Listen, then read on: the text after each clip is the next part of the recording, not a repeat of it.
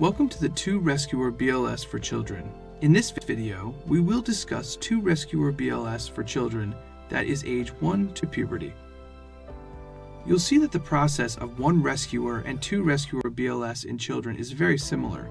Now, let's review the 2 Rescuer BLS process for children.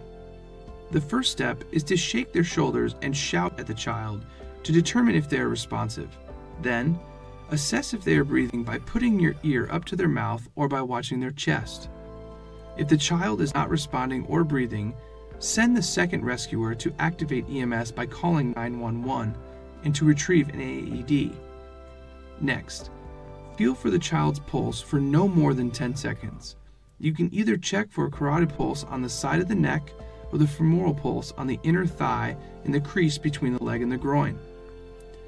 If there is no pulse, or you can't tell if the second rescuer has returned, then begin CPR with a 30 to 2 compression to breath ratio. If the pulse is less than 60 beats per minute, still initiate CPR. When the second rescuer returns, begin CPR by performing 15 compressions and then having the second rescuer deliver two breaths.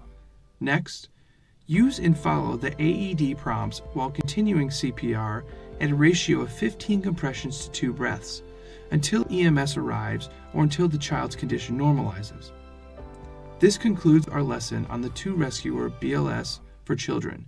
Next, we will review child ventilation.